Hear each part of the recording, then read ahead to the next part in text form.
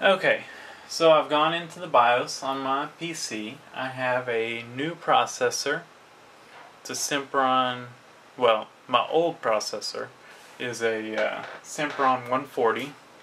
The new one is a Phenom 2 X4830, regular uh, 99. I got it for 49, so 50 bucks. Um, when I built this computer a little over a year ago, um, put a really good motherboard in it and everything, but I actually had the Sempron 140 processor from a motherboard combo deal I had bought and sold the motherboard. So I just had the processor. So I went ahead and used that, waiting for a good deal, and uh, finally I found this good deal on this uh, Phenom 2 quad core. So I've been running this Sempron, which is a 2.7. It's a Sempron 140, which I think is a 2.7 gigahertz, and I've been running it at 3.4, and it's been stable. Um, this motherboard I have um, actually can unlock the second core, and I had done that on this processor, this Sempron processor, so it could be a dual core, but it wasn't stable. It uh, had random blue screens, so I, I I turned off the unlocked core and so it's just a single core 3.4 and uh, I've got 4 gigs of RAM. I've been running uh, Windows 7 uh, Pro 64 for over a year and, it, and you know it's just been a good stable machine and it's it's actually ran pretty quick. So before we upgrade the processor we're going to put the clock control back on auto so that brings it back to the um, stock configuration, so it's back at 2.7 gigahertz. And then we will escape. Save and exit, yes.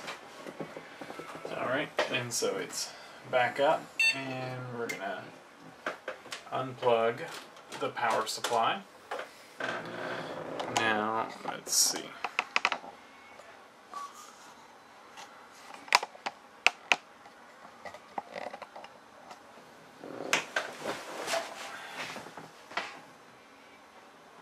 Let's see if I can some more light. Well, that'll have to do for now. Yeah, it looks alright. So I've got a Cooler Master heatsink and fan here. Um, it's got this little tab up here, this little handle, just pull that off. And that should undo here.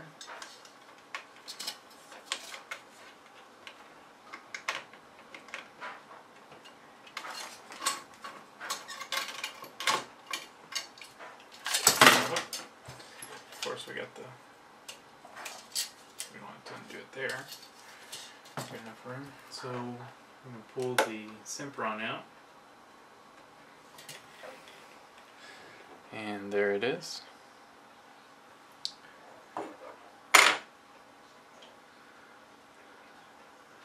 And let me find my heatsink compound.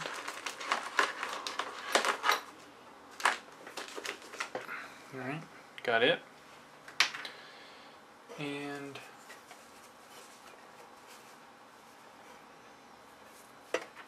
take our new processor.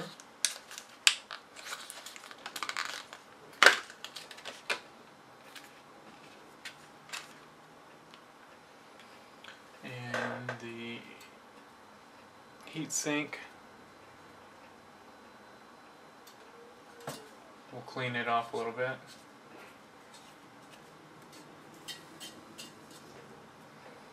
We'll take and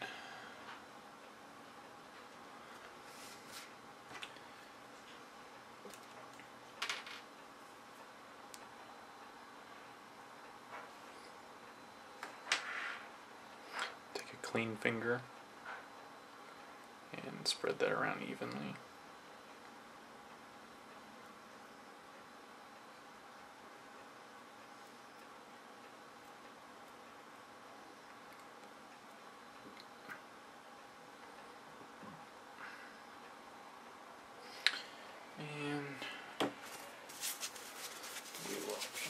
This thing up real good.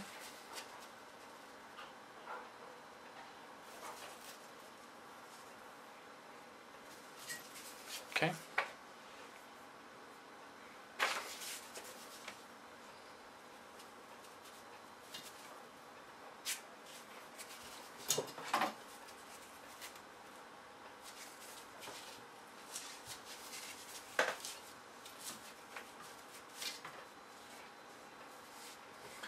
And I'm just gonna put just a little bit on there.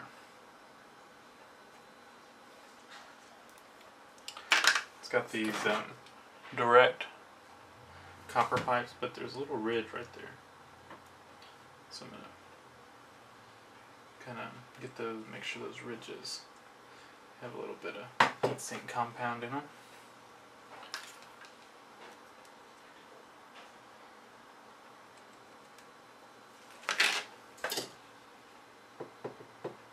There we go. Okay.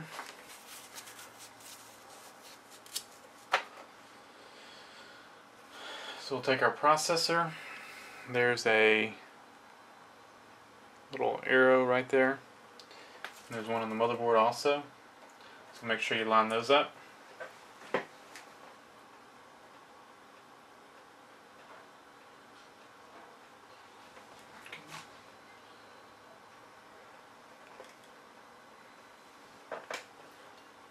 Don't force it in, it should drop in easily.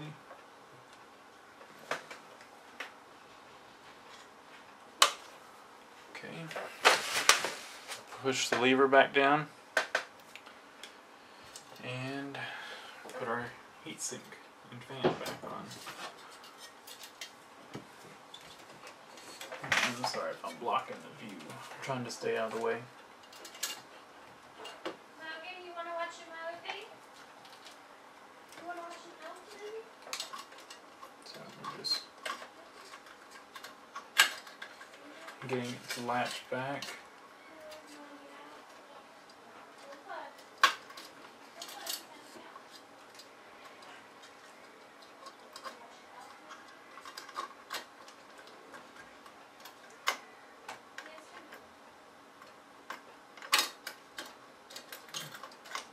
Sometimes it can be a little hard to get it hooked.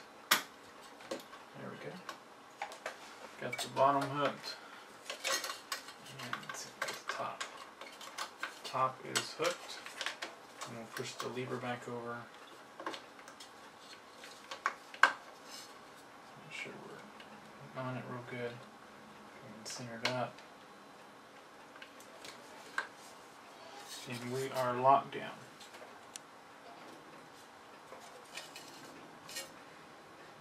and we're still plugged in. So hopefully I didn't completely block your view. I tried to stay out of the way. Plug our power back in.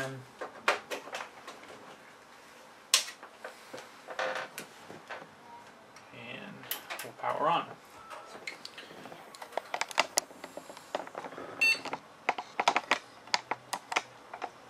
And we're going to go into BIOS and it shows on there 8 uh, 830 let's see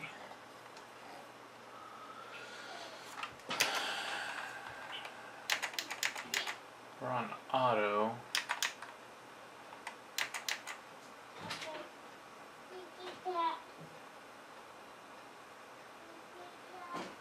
Right looking pretty good. Let's um let's boot up